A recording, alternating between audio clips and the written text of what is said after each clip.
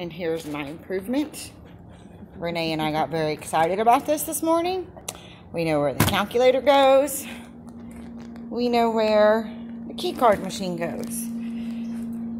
I'm also playing with the laminator, but I need somebody to teach me because I don't feel like that looks She right. learned it on her own. Yes, I'm learning on my own. And we also know where the stapler is supposed to go. I just need to find the Velcro and attach it to things and we'll be good to go.